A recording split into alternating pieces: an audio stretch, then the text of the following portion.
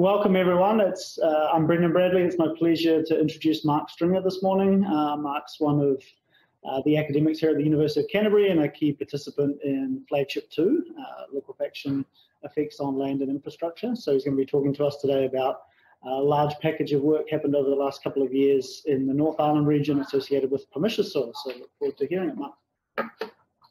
Great. Thank you uh, very much, Brendan, for the introduction. Um, yeah, uh, Brendan alluded to, I'm going to be um, my time today talking really about um, some work that we've been doing. I've been doing in collaboration uh, with University of Auckland, primarily, um, trying to establish um, what the dynamic response of uh, natural pumiceous deposits uh, is like.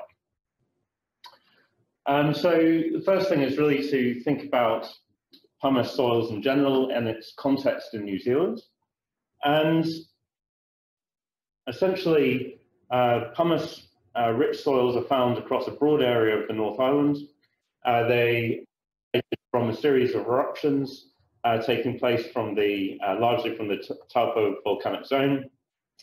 And initially, these soils are ejected from the volcano. They fall as uh, airfall deposits in situ, and then they can exist in a number of states today.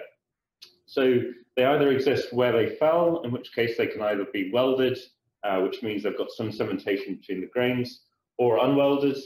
And in some cases, they can be reworked by the processes of uh, rain and then rivers. Uh, so for us, interested in uh, liquefaction effects, uh, I'm going to be focusing on essentially the response of uh, these reworked Which one?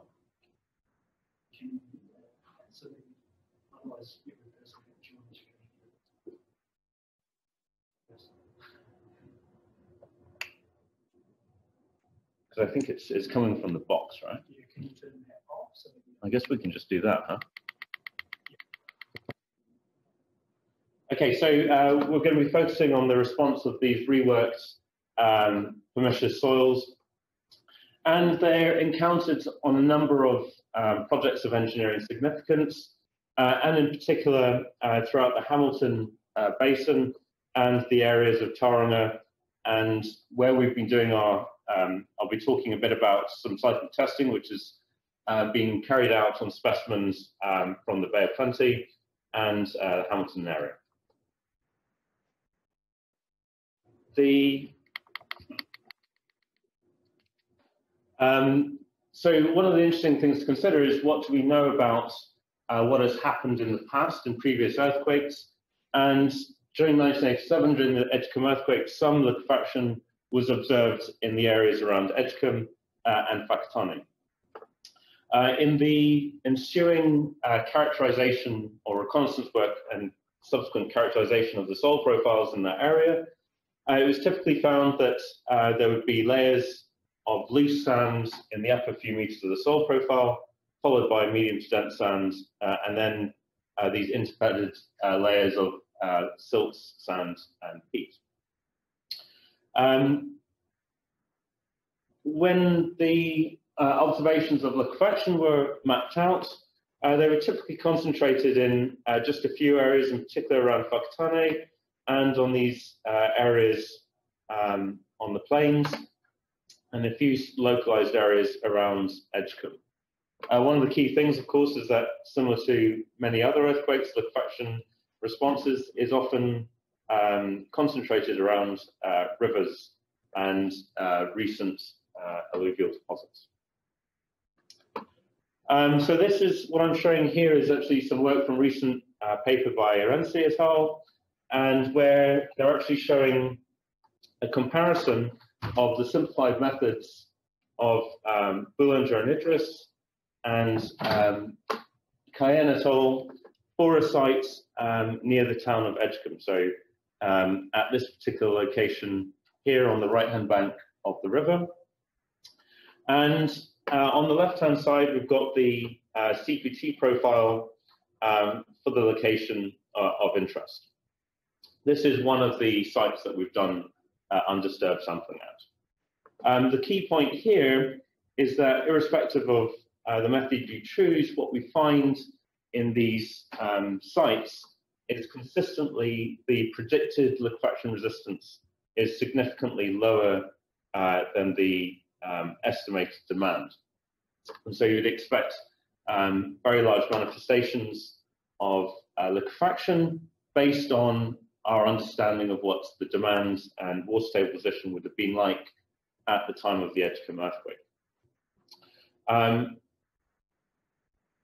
so really the focus of today's talk is then going to be, um, or more widely about this project, is trying to understand a little bit more about these soils and how we can try and compare them perhaps against um, hard grained soils and try and figure out then um, in the longer term whether we can try and um, develop uh, simplified procedures or adjustments to existing simplified procedures which can help us come up with tools to predict whether liquefaction is going to be an issue uh, in a future earthquake scenario. Uh, so uh, key questions then are, uh, firstly, how should we even characterize these materials? Um, how does liquefaction resistance compare to hard-grained soils? And as part of that, when we want to do our comparisons to the laboratory, we need to consider how best to get natural samples of these soils into the laboratory in a state which is going to allow us to test them um, against uh, established field parameters, such as the um, penetration resistance from a CPT. Um, pumice as a material uh, has some very particular properties. Um, for me, uh, a lot of these are best understood by examining the microstructure uh, of the soil grains. And what I'm showing here are two SEM images of um, sand-sized particles that were uh, obtained from our sampling um, uh, attempts in Whakatane. Um, the key thing is that when we consider pumice grains on their own, they tend to be very lightweight, and we can see that uh, is going to come as a result um, of their um, honeycombed or very um, complex structures. Uh, typically, what we'll have is that at the time of eruption, uh, there'll been obviously um, liquid magma, and then they're getting um, uh, ejected from the volcano. During that process, gases are uh, coming out of the um, liquid and creating these internal void structures within the grains. So that creates um, a very lightweight uh, structure. Um, the direct consequence of the gas being um, coming out of the liquid is that we have this internal porous structure of these soil grains, and you can see evidence of this uh, in the two SEM photos. Uh, clearly, if we're dealing with um, now a grain, which is not a solid material in the sense that we would normally think of a soil grain, but one which is composed of lots of internal voids, we've got a whole series of very thin cell walls within an individual soil grain. So when we apply stresses onto these grains, uh, we get very high stress concentrations on the cell walls. And as a result, uh, the grains become very, very crushable. Um, and Pender have uh, previously noted uh, that you can typically crush pumice grains uh, under the pressure of a fingernail on a table. So very crushable compared to normal soils. That particular aspect is captured in this top right-hand corner, uh, where the, and I'm taking this from the Orense et al. paper from 2013, uh, where the crushing strength of individual grains of silica sand are compared against um, those that you find for commercial sands. Uh, one of the key points here is that there's a real range in the crushing strength of pumiceous soils, okay, so of pumiceous grains. And so um, this is the first indication uh, that there's some additional complexity and that not all pumice is going to behave in the same way. Um, this is uh, on the bottom left-hand side, I'm showing what I consider to be one of the key um, problems when we're dealing with pumiceous soils in situ.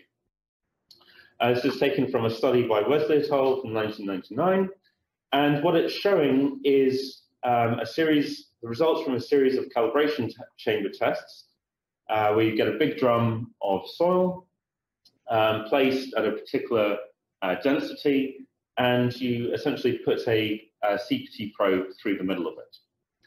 Um, what, what, it shows is that for hard grain soils, these are the two quartz curves, the CPT is extremely sensitive to relative density. Whereas in um, tests where pure pumice materials, so they got commercially available pure pumice, uh, were placed in these calibration chambers, they found that the cone resistance was essentially insensitive to relative density. Um, so that has some very particular uh, consequences um, for the use of the CPT as a um, indicator of or predictor of liquefaction resistance. And we'll talk about that uh, a little bit later. Um, what I wanted to show or talk about here was really one of our big aims of this project is to try and um, understand how we can try and provide uh, tools for practicing engineers to understand what the likely liquefaction resistance of uh, soils are likely to be when they're encountered on a project. Um, to do that, uh, what we aim to do is to collect undisturbed samples of high quality, uh, bring them back to the lab, test them for cyclic resistance, and then com um, come up with those uh, adjusted simplified methods. Uh, one of the important things to realize is that uh, when we uh, perform undisturbed sampling with advanced sampling techniques, not all techniques are equal and that depending on the soil type you're in, you can find that one method is distinctly preferable over another. Um, in the context of liquefaction resistance, uh, the Japanese showed that this was extremely important if you were trying to sample clean sands, and that at the time, in the 80s, when these studies were first carried out in Japan, that um, when they tried to uh, sample clean sands, uh, they found that loose deposits got denser and dense deposits got looser. And so they were inferring for a long time that the liquefaction resistance of um, clean sand deposits tended to be um, a uniform uh, level. In reality, what was happening was that the relative density of these soils was changing significantly as a result of the sampling process. And so they were essentially in the lab testing uh, soils in a similar initial state. So one of the challenges for us was to understand how best to sample these soils in the field to get reasonable results when we come back to the laboratory. So in the early phase of our project, um, one of the things we were looking at was trialing different sampling techniques. And available here to us in New Zealand were um, the Dames and Moore sampling, which is essentially a thin-walled sampler. You push a um, tube of, of brass, which has a low friction angle, um, under the action of hydraulic pressure directly into the ground and you recover the soil sample. Um, the trick, the key aspects of this sampler is that the, the wall thickness has got to be relatively thin to try and reduce uh, the strains uh, associated with the penetration of the sampler, and that you use brass tubes to keep the friction angle um, against the side of the uh, walls of the tube down. What it means is you're just um, inducing less shear stresses as you penetrate um, the tube into the ground, and so hopefully you get less disturbance. Uh, on the right-hand side, um, I'm showing two simplified diagrams of a technique called gel push. It's an emerging technique which has come out of Japan uh, to address the sampling of uh, sands, and in particular silty sands and uh, clean sands. Um, in the study, we trialed two different iterations of the tool or two different versions of the tool, which are intended to capture two different uh, types of material. So first, the gel GPS, the static, and it's essentially the same as a thin-walled um, sampler with the incorporation of a uh, low-friction polymer gel. So the low-friction polymer gel is contained within the tube, and as we advance the sample tube into the ground, some of this polymer gel is basically brought through the tube towards the point of entry of the soil into the soil sampler. It coats the soil sample in this low friction gel and um, is intended to eliminate all of the sidewall friction that you would normally have in a undisturbed sampling technique. Um, if you can eliminate the sidewall friction, um, then hopefully uh, you uh, eliminate sample disturbance, uh, certainly as a result of the um, friction as the soil is entering the tube. On the right-hand side, we have a second iteration of the same technique. Again, there's a polymer gel, which is going to coat the soil sample as it enters the sampling tube. Um, this is called the triple tube sampler, and it works a bit like a Mazier core barrel. And so we have a um, outer reaming uh, device, which is basically cutting the soil um, just behind a uh, sample uh, cutting shoe. The internal portion of this device stays um, basically stationary, um, and whilst the reaming shoe is uh, spinning around the outside um, of the central uh, portion of the tool. Uh, so again, uh, as this soil penetrates, we're coating the soil samples in this gel and trying to eliminate um, friction. Uh, for those of you that haven't seen uh, gel push in action, um, what I'm showing here is a soil sample that's just been recovered from the ground, and we've removed um, basically the front portion of the tool as we try and recover the soil sample out of the gel push sampler. And what you're seeing here, this white stuff, is um, the polymer gel.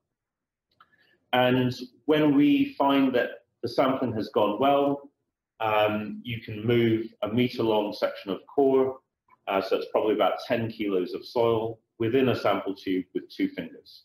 Okay, so very, very light pressure, uh, very low um, friction. So we trialed um, those three techniques um, at a site in Whakatane, and the initial um, aim of uh, that year's sampling campaign was just to establish which method we should be using or recommending going forwards. Uh, what we found was a real range in the performance or, or, the quality of the samples that were uh, returned to the surface. Um, and it would be fair to say that all the samplers had problems at some stage. Um, particular issues that we encountered um, consistently were that in the Dames and Moore uh, sample um, sample tubes, the thin-walled brass tubes, we were finding that in these pumice pumiceous deposits, we were getting gravel-sized particles that would dent the sides of the uh, tube. That means that essentially any soil that's coming into the sampling tube is going to be uh, severely disturbed um, by these features which develop on the side of the, the tube. So um, unless you know you've not got gravel uh, in your soil profile, uh, we don't recommend uh, the use of Dames and Moore necessarily. Um, when it came to looking at the gel push static, what we found in some cases is that it worked well, but in other cases, uh, we found that the soil would slump visibly in the tube. And this was common for both uh, types of gel push sampler. Uh, the difference here is that we can see um, actually that there has been some disturbance when that happens, and we can uh, establish based on field observations that we need to be careful uh, in the interpretation of these results. Uh, so from that study, uh, what we found was that we felt the best results were coming out of uh, the gel push triple tube sampler, and that's what we've generally been using in the studies as we go in the sampling tents uh, going forward. So the majority of um, the testing that we're doing at the moment has been carried out with uh, triple tube samples. Um, one of the things that's really interesting is to think about what these deposits look like uh, when we bring them into the laboratory.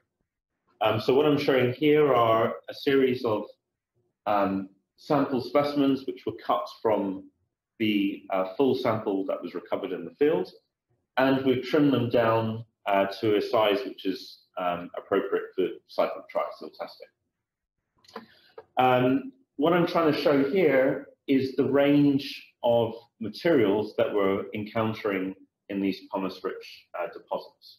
So uh, I guess naively, when I started thinking about pumice as a research area, I kind of had in my head that it would just be pumice as pumice is pumice uh, in a singular uh, form.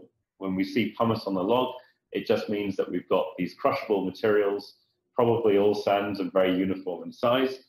And one of the things um, that becomes obvious very quickly is that there is um, a real range, firstly, in the amount of pumice contained within a, a soil sample.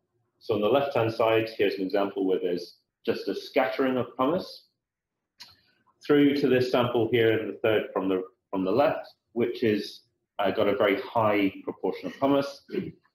And what you can see as well, looking directly the figure on the picture on the far left and the picture third from the left, is that there's a real distribution of size.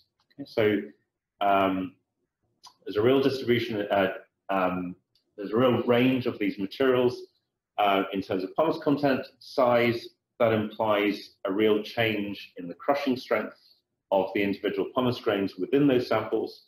And so uh, one thing that becomes apparent very quickly is that these soils are very variable and they're going to be very uh, complex.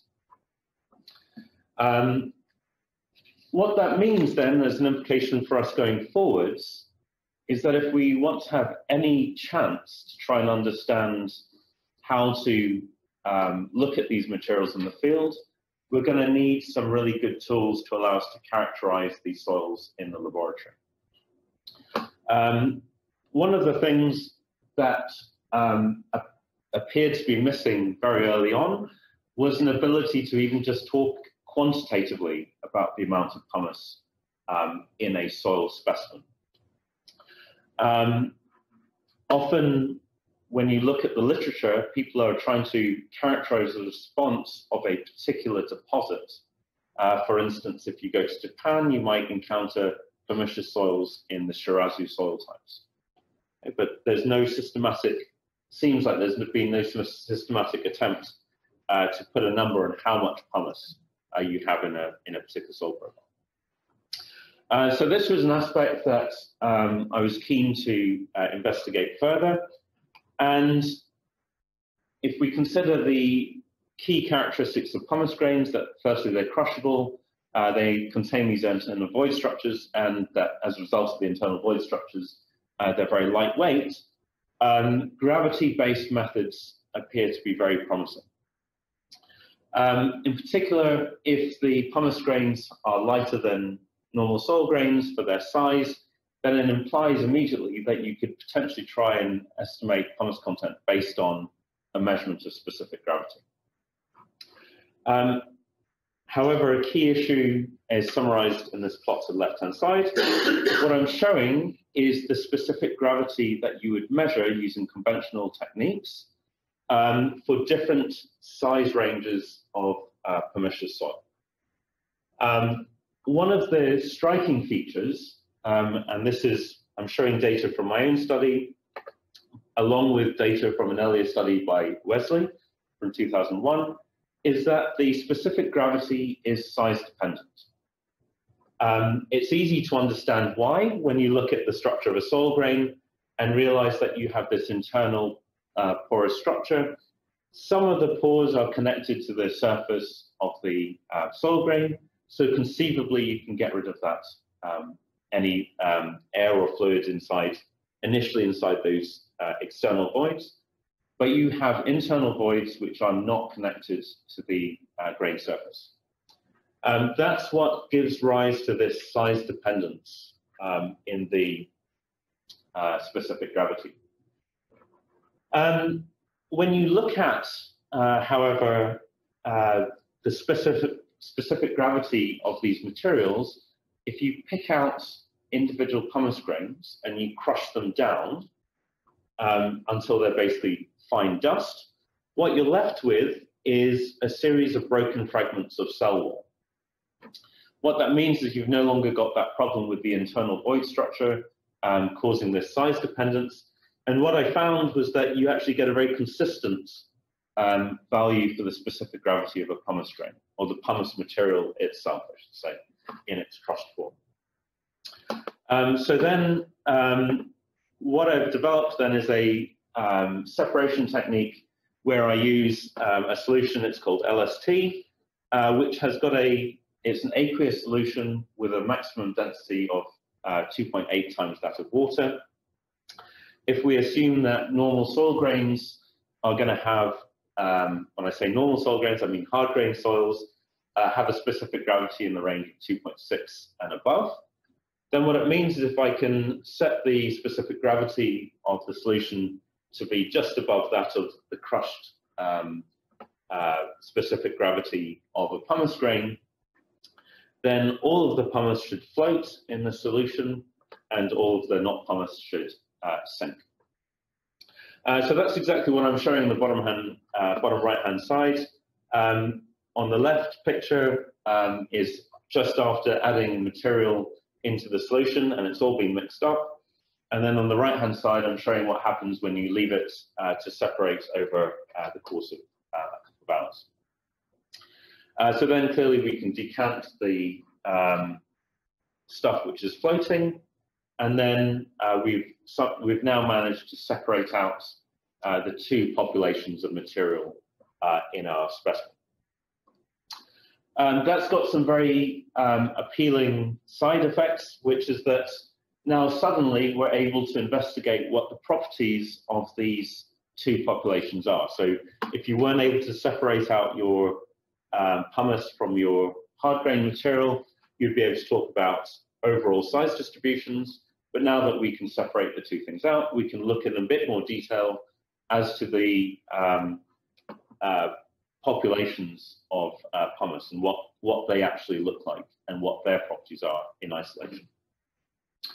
Um, I should say here that I've been talking about uh, the method we I've been using here at Canterbury.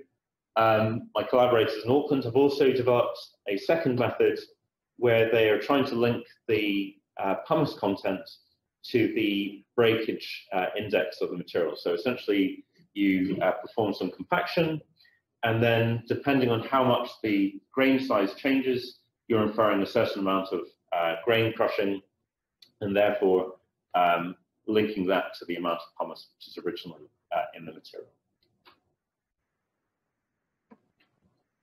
Okay, um, for the remainder of the talk, I really want to just introduce you to some of the results uh, that we've been seeing in the laboratory. Um, here are some typical responses uh, from the first set of samples that we obtained from Whakatane. This is what the um, stress paths look like and the uh, accumulation of axial strain against um, cyclic stress. Really, actually, they look pretty reasonable. Um, there's no outstanding features that you would necessarily uh, look at these um, uh, curves and say that it was definitely a high pumice content or a low pumice content. One of the things that is apparent is that we get a very rapid generation of excess pore pressures and entry into the cyclic mobility loops. Um, another feature that we often see in samples with high pumice content is that they're initially uh, relatively dilative. And that's probably coming out as, as a result of the very rough and angular structure on the surface of these grains. Um, if we look at how the uh, strains and pore pressures develop, what you see is again very, very rapid generation of excess pore pressure, um, and then uh, rising close to one, but then after which, um, at lower effective stresses, the um, further generation of excess pore pressure is much more gradual.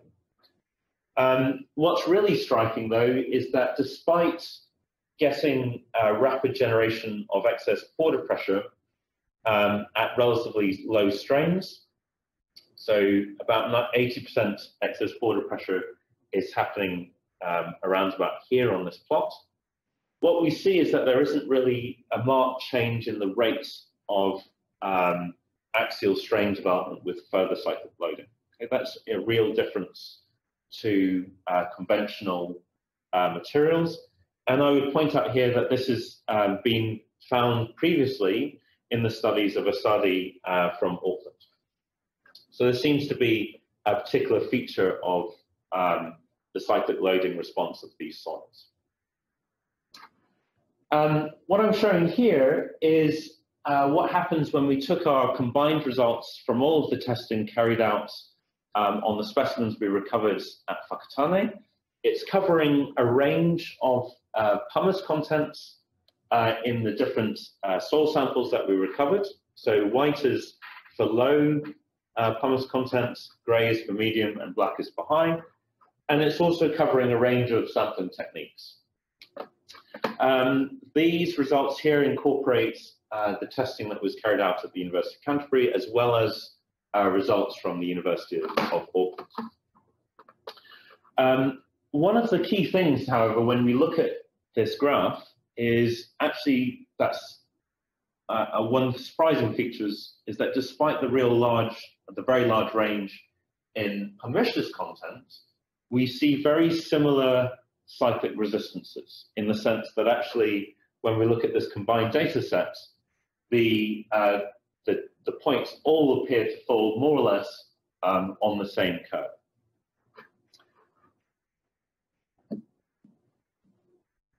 One of the questions then is really, okay, so we know that uh, from this first site, we got a similar curve of cyclic resistance. How does this compare to what we might expect to have seen uh, in the field for those samples? Um, what I'm showing here is the uh, cyclic resistance curve from the latest iteration of the Boulanger and Idriss method. So this is the 2016 paper. And uh, what they're showing here, for those that aren't familiar with it, is um, the curves of estimated cyclic resistance at different probability levels um, of manifestation. And um, the data points that are plotted relative to these curves are indicating um, the results of, or, or, the observations of liquefaction manifestation following significant earthquakes um, in the past. Um, above the line, they're showing uh, the data points associated with uh, locations or soil deposits which, which showed signs of manifestation and below the line, largely in these um, unfilled markers, they're showing um, soil deposits or characteristics of soil deposits which didn't uh, exhibit signs of manifestation. Um, the real difficulty for us is that if we want to compare uh, our response uh, to uh, those of hard-grained soils, we've got to think really carefully about the uh, way in which we try and make our comparisons we know from before that actually there's a real problem with cone resistance in pumiceous soils.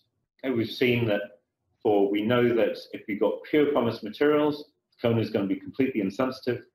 And we don't yet have a really good grasp on how that relationship changes or transitions with decreasing pumice content until you get to zero pumice content and you get back to your normal relationships. Um, however, one of the things to realize is that the simplified methods uh, based on the CPT, um, its success really relies on the fact that for hard-grained soils, the liquefaction resistance is strongly correlated to the relative density of the material, and that within the simplified method of Boulanger and Idriss is an acknowledgement of, of that exact relationship. So here I'm showing uh, the relationship which you find in the 2008 monograph uh, by Idriss and Boulanger, um, introducing their simplified method.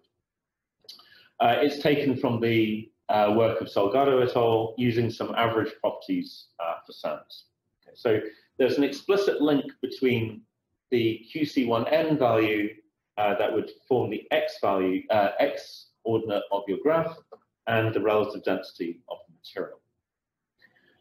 Um, so what that means is that actually there's a way for us to convert our um, field data into a comparison against the existing uh, manifestation observations.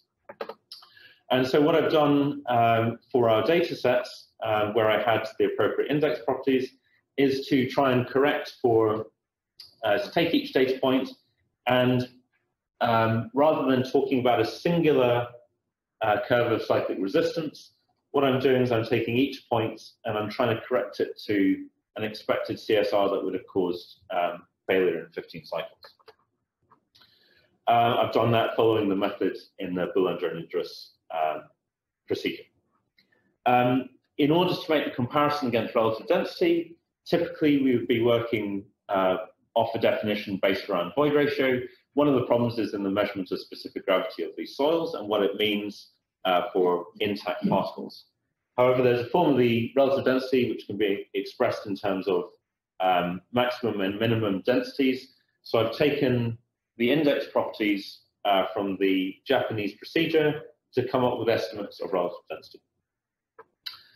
Uh, so what I'm showing in this summary plot then is how our cyclic resistances for each of our test points um, compares against the Boulanger and Idriss curve um, across the four sites where we've done our testing, and noting that the different colors here are indicating uh, the range of pumiceous content. Um, one of the interesting things here again is like similar to the results from the uh, Whakatane study, there isn't a systematic change um, in our cyclic resistance with uh, pumice content. Okay, so it seems that in the soils that we're covering, um, with even modest amounts of pumice um, in the material, in the deposit, we're getting a, a, scatter of cyclic resistance, which doesn't appear necessarily to be strongly correlated to um, relative density in these soils. Um, of particular interest um, that I want to point out is that some of our latest samples were recovered uh, from Edgecumbe, and they appeared to have very, very high relative densities, which uh, you would typically uh, assume would not be able to liquefy in any way, shape, or form. Um, however, we're reaching the laboratory-based definition of liquefaction, which is 5% uh, strain uh, at uh, typical cyclic resistances, which you might expect to see uh, during um, even moderate earthquakes. So uh, for high relative densities and high and uh, with pumice, if we've got pumice-rich soils, even with high relative densities, we might expect to see some problems. Uh, the last thing I wanted to talk about is just the consequences of uh, liquefaction in these soils. Um, the work of Asadi et al. from Auckland have shown that uh, the post-cyclic um, behavior of these soils when you apply monotonic shearing load um, is very dilative, and you can expect to see some relatively large resistances to shearing load. Um, what I'm showing here, however, is what happens to the volumetric strains uh, when we reconsolidate uh, the specimens. This is important because the volumetric strains form the basis for many of our damage indices uh, or damage predictors uh, when we consider the consequences uh, of liquefaction. So these would be the sort of LSN, LPI indices, often make use of uh, volumetric strain. Um, what I'm showing here is the results that um, from Ishihara and Yoshimine in the black lines, where they uh, conducted cyclic triaxial tests and um, established relationships for the expected volumetric strain based on relative density and the uh, maximum shear strain during cyclic loading. And what I'm showing, again, with the different colors, is where our samples are sitting uh, relative to those um, lines, with the different markers showing uh, the different relative densities. And that's a bit difficult to absorb. So what I've done now is I've compared uh, the recorded volumetric strain for each test specimen against those you would predict based off their relative density and the level of strain we took the specimens to during the cyclic phase of loading. Um, the key aspect here is that all the majority of our test points lie below um, this dashed line, which is the one-to-one -one relationship it's indicating that for these soils, we, we record larger than expected uh, volumetric strains during the reconsolidation process. So as the, as the so pore pressures are dissipating, we record larger than expected volumetric strains. And that feature is likely coming about as the higher, as a result of the higher compressible uh, crushability of these materials. So when we apply the cyclic loading, we're getting localized crushing, and so when they re reconsolidate afterwards, we get larger uh, volumetric strains as a result. Um, so really that's a flavor of uh, what we've been working on in this project. Uh, the key aspects for me uh, is this recognition that um, these pumice-rich soils are really complex and um, are very variable in the field, both in terms of their content and um, distributions in terms of size and uh, properties. Uh, we need to really consider going back to the basics in these soils, developing these tools um, to better understand the properties of these materials from a fundamental point of view. So we've managed to come up with two uh, methods um, so far, which are um, looking at quantifying how much pumice we have in the uh, mixture, but further work is really required to try and understand um, how to talk about things like void ratio, on which most of our understanding in soil mechanics uh, rests on. Um, the results from the undisturbed sampling suggest that the crushability of these materials is playing a key um, is a key factor in uh, changing the results of uh, relative to hard uh, grain materials.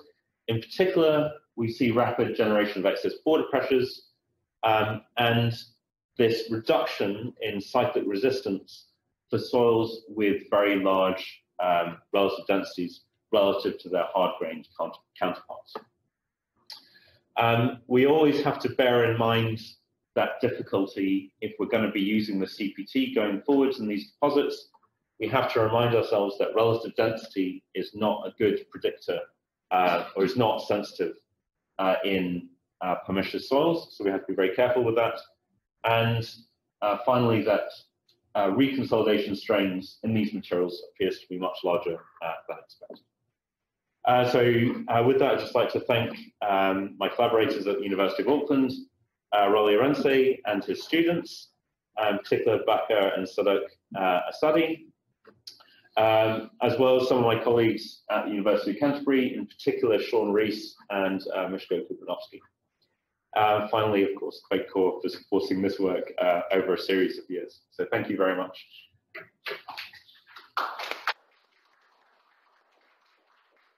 All right, thanks, Mark, for the uh, very clear presentation to non-technical audiences, showing us that not all soils are created equal, shall we say. Um, questions from either people in the room or people on Zoom? Kevin.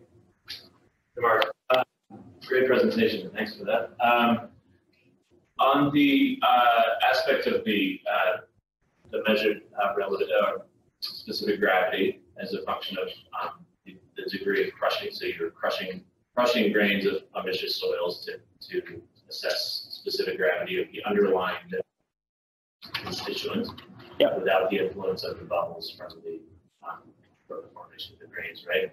Uh, can you can you talk a little bit about the um, the procedure you used for the crushing and any thoughts about how the your success at crushing to the finest possible size may or may not influence the, the measured specific gravity. Because my intuition tells me it's going to be more effort to crush as you get to the very smaller yep. particles. So that's interesting. Yeah. So the question was about um, how successful was I, or what procedures I used to crush the uh, pumiceous grains, and how successful did I feel I had been at the crushing process. Um, well, first one is very easy. Uh, basically, I got a mortar and pestle, and I um, I, I spent a few Sunday afternoons hand picking out um, grains that were clearly pumice. Um, and then I would basically crush them down to uh, a fine dust in the uh, mortar and pestle, and I would be passing them through a sieve uh, so I could check the size uh, or eliminate um, grains which were clearly too large after um, the initial crushing. Then I kept crushing them down until they, they basically became um, fines. Um, one of the things I didn't show here was that uh, as part of all the SEM work that I was doing um, during this development of this technique, I looked at different size fractions of pumiceous material And what I realized was that if you could get down to um, essentially the um, fine to medium silt size, you were looking at fragments of cell wall at that scale.